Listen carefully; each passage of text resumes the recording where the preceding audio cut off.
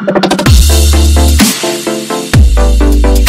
Hello guys, welcome back to my channel Appopedia. I'm Ratan Priya. As you know that I'm covering a process builder from the Trailhead course and some few topics I already covered on my channel uh, with the Trailhead course and somehow some courses from the Vlocity. So this time it's in the picture is a flow builder. It's a small topic but it's very important if you wanted to go into the Salesforce developer path. You must have to learn this one. So let's start this part. So for this model they have a sub model of the 4.1 and this is the process builder. Basically process builder is nothing but it doesn't involve a single line of code. It's just a automated a business process the workflow like uh, the way of workflow for the business processes. It's just helping to be automated that business directly to work as a, a workflow which will handle is a process that's called a process builder. Okay? So let's read the proper line. Uh, so process builder is a workflow tool that helps automate business processes without writing a single code.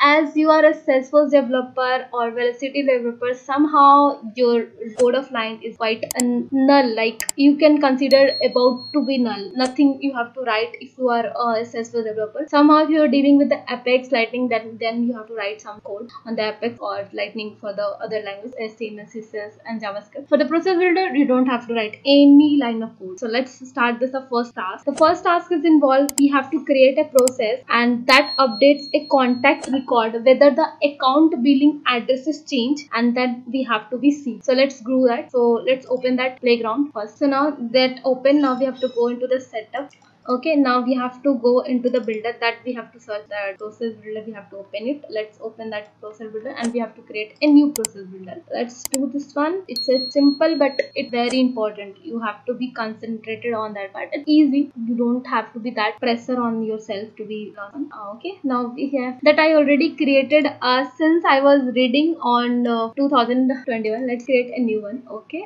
And then we have to be uh, this was a different one. Then we have to create a continue with the process and then we have to write a contact address change okay now we have to go with the continue. We have don't have to be a flow deal with the flow builder. As i already covered a whole uh, video on the flow builder which i covered uh, with the Trailhead course okay? And then we have to be selector. I think so this one is uh, based on the performance we, were, we wanted to be involved. So that was the record change that we wanted to be processed to be record change. Uh, okay so the basic uh, task is that we have to create a process which will update a contact record okay contact record we have to update with the process. Whenever the account billing address is changed the contact will be also the change. Okay the address based on the record address we will take on. Okay now we have to add the object. Object will be must with the account because we are uh, dealing with the account billing. So let's keep the account. Okay and then we have to be account already have the active uh, procedure. Okay uh, let's uh, for my case it's there. Okay no problem. Uh, we will deal with that. Uh, start and then we have to go into the object and then start the process create and